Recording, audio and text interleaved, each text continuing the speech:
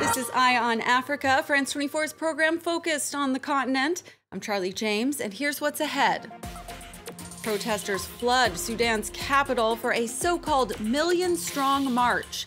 It's a show of force as talks with the military deadlock over the transition to civilian rule. Protests turned deadly in Benin.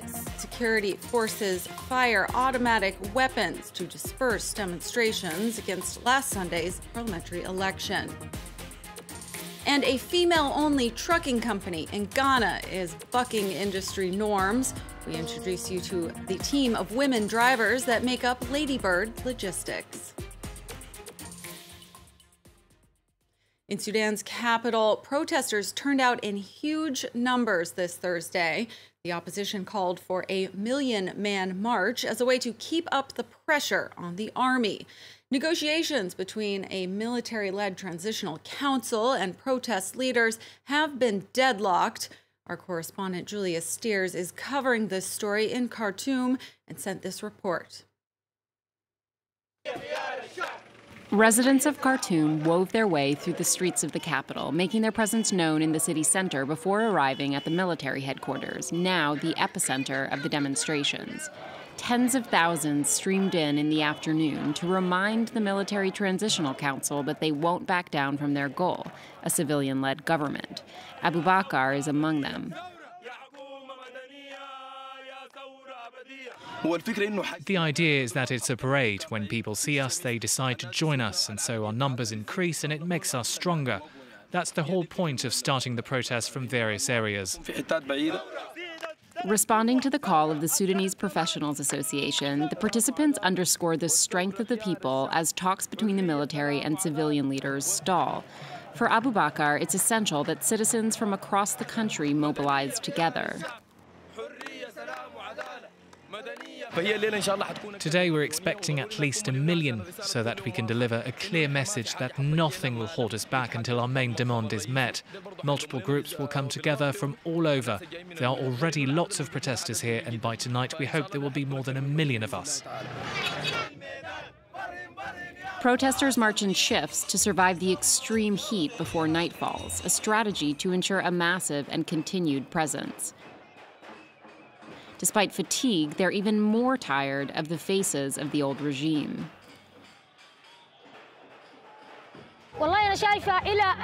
We'll stay here until this is resolved in a peaceful way and a civilian government is put in charge.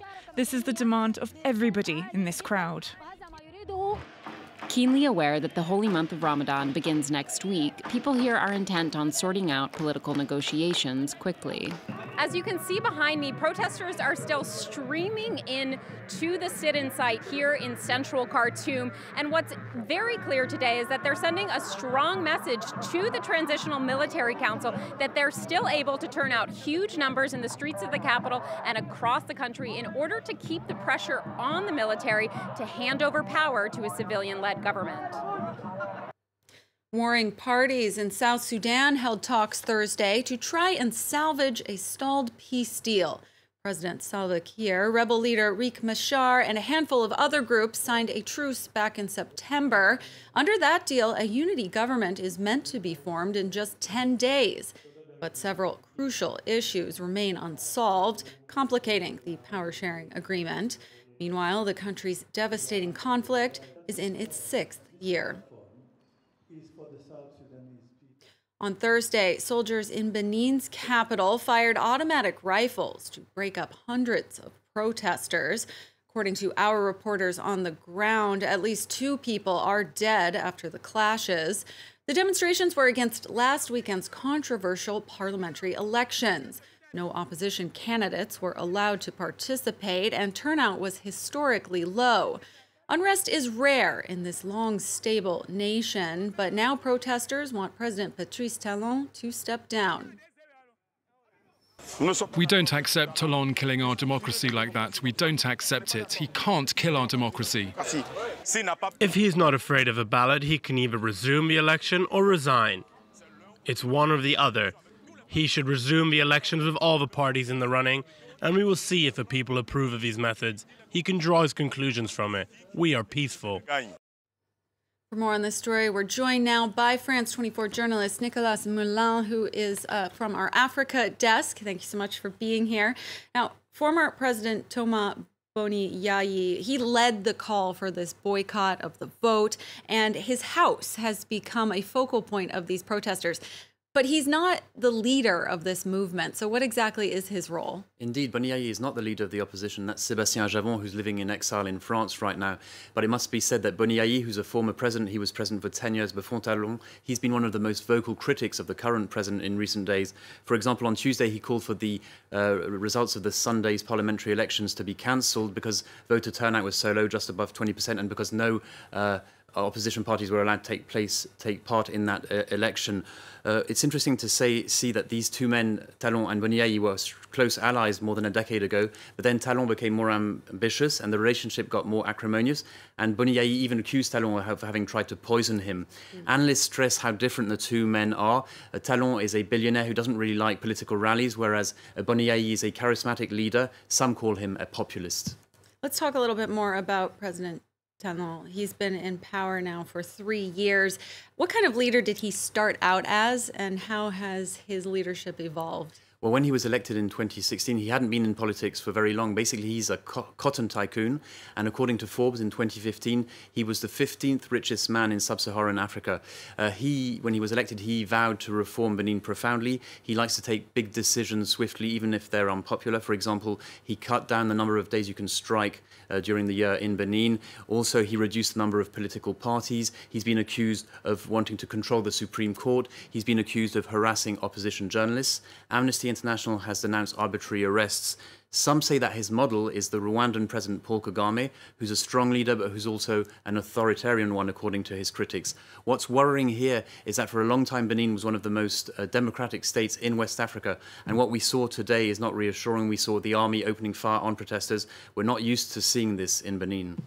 And we'll have to wait and see when we get the results of this election as well. Um, but it looks like protesters are not uh, planning to stop. Uh, Nicolas Germain, thank you so much for helping us understand this story.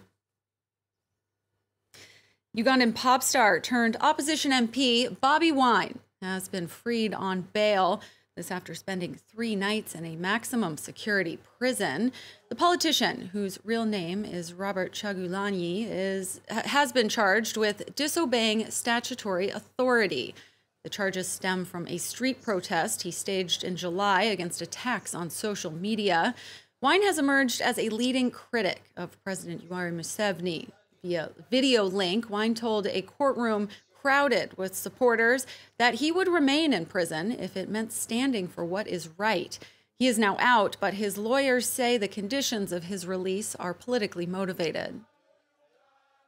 You had one of the conditions that the, the, the trial magistrate mentioned was if he engages in an unlawful demonstration, then the bail will be cancelled. Of course, the issue is who determines the unlawfulness of a demonstration. If it is this police of ours, then Bobby Wine will never be free in this country. But if the unlawfulness is determined after a due process of court, then we are comfortable. And finally, on the program, in Ghana, a woman behind the wheel of a big truck turns heads. Like in much of the world, trucking there is still an industry dominated by men. But Ladybird Logistics and its team of women only drivers now delivers fuel to Ghana's gold mines. It claims to be the first company of its kind, and it's changing attitudes. Located in the west of Ghana, the port city of Takoradi is a hub for transportation businesses. It's here that Payin Marfo runs her women-only trucking company, Ladybird Logistics. As well as empowering women in a male-dominated sector, employing female drivers brings other benefits to her business. I think the female drivers are more cautious. They're really careful. Um, maybe it's a female thing because we are always thinking about the children that we have at home and making sure that you don't want to take certain risks Every day in Ghana, hundreds of truck drivers take to the country's ramshackle roads to transport petrol to mining sites. It's a job that's traditionally been done by men. A 2014 survey found that just 0.3% of Ghanaian women were employed in the transport and storage sector, compared with 7.7% of men. With over 20 female drivers now working at Ladybird, the reaction from other companies and from male drivers has been positive. They're good drivers. We've not had any major in incident to date. So I think now there's a lot of respect from um, the men, and they realize that these ladies are good drivers. Following in the footsteps of many of her family members, Abigail Amoa was already working as a trucker. But when she heard about a new company employing exclusively female drivers, she jumped at the chance to get involved. For her, it's not just about doing a job, it's about becoming part of a company that is trying to break down gender stereotypes in Ghana. So I feel so proud because it helped me a lot. So I'm encouraging other women.